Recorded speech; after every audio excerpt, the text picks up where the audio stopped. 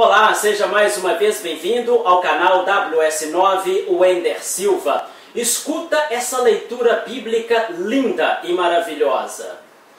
Visto que muitos têm empreendido fazer uma narração coordenada dos fatos que entre nós se realizaram, segundo nulos transmitiram os que desde o princípio foram testemunhas oculares e ministros da palavra.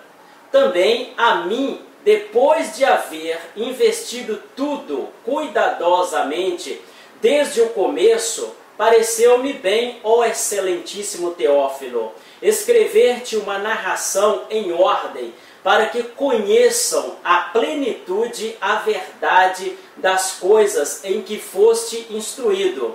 Houve nos dias do rei Herodes, rei da Judéia, um sacerdote chamado Zacarias, da turma de Abias, e sua mulher era descendente de Arão, e chamava-se Isabel.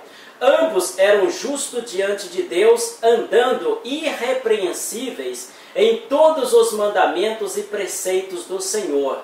Mas não tinham filhos, porque Isabel era estéril, e ambos avançados em idade. Ora, estando ele a exercer as funções sacerdotais perante Deus, na ordem da sua turma, segundo o costume do sacerdócio, coube-lhe, por sorte, entrar no santuário do Senhor para oferecer o incenso. E toda a multidão do povo orava da parte de fora a hora do incenso. É uma leitura muito linda que começa aqui no livro de Lucas, fazendo uma narração da história do princípio, o nascimento de João Batista, o nascimento de Jesus Cristo. Acompanha os próximos vídeos que irá relatar este início que Lucas resolve escrever.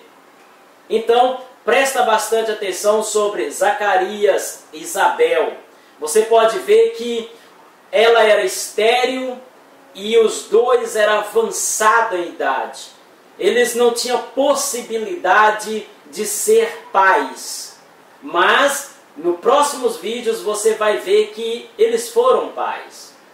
Às vezes você pode estar condenado a alguma coisa que você não gostaria.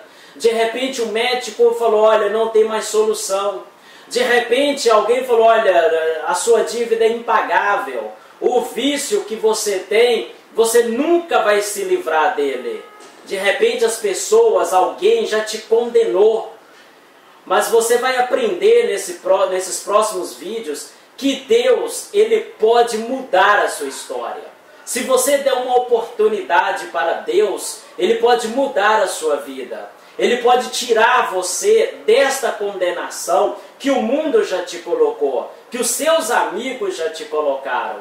Deus ele pode te tirar, ele pode mudar a sua história. Acompanhe os próximos vídeos que você vai entender que história linda que Zacarias e Isabel viveram, ok? Eu te vejo aqui amanhã com mais uma palavra de Deus.